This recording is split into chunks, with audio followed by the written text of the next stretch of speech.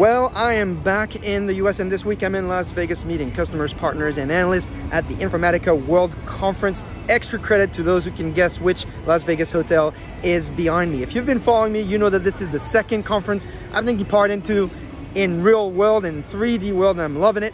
And if you're just catching me right now, you'll find in my blog the top five resources in the world of data, AI, and analytics. So let's get started. The first most popular post of the week was Intel's Capital post on the state of the database market. I'm thinking many of you like it. I'm thinking about you, Merv, because it's got some really compelling stats on what's going on in the database market. The first one is the DBMS market has more than tripled in the last 10 years. Relational databases capture 80% of that market.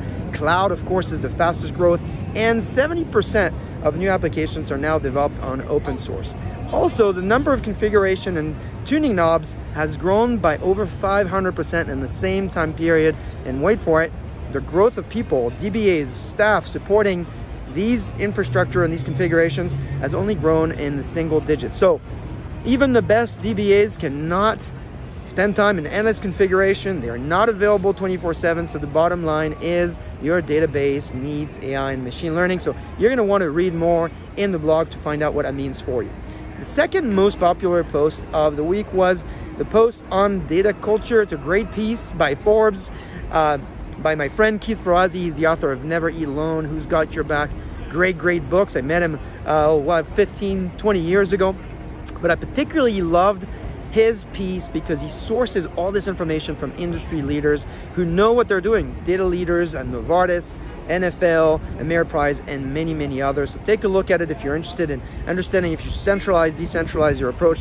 This is the article to read. And then to close, traveling gave me a lot of time to listen to podcasts. And so there's at least two podcasts that I would advise you take a look at. The first one is the Data Engineering Podcast, and the second one is my favorite one, the GCP Podcast. Now you're thinking this last one is a plug, but trust me, if you're interested in learning anything about infrastructure, cloud, databases, you're gonna love the GCP podcast, particularly this last episode on AlloyDB. It's a product that we just introduced in the market. Many of you reached out to me to find out what it's about. Well, in the latest edition of GCP Podcast, Sandy and Gigi do a really great job talking about this innovation, particularly in the context of everything else that's going on in open source and the ecosystem. So it's a must listen to, in my opinion.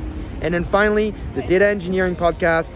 Um, my friend Justin, who's the CEO and founder of Starburst, talks about the history of Hadoop DB, Trino. Super, super interesting uh, podcast if you haven't caught up with all that history. This week, my friends at ThoughtSpot and Tableau also had their conference, so I guess it's official. We are back, and I hope to see you at the next event. Uh, for me, it's probably going to be the Gartner uh, Data Analytics Summit in Florida later this year. So let me know if you're going to be there down there, and then of course, connect, DM me if you need to know anything, and I will see you next week.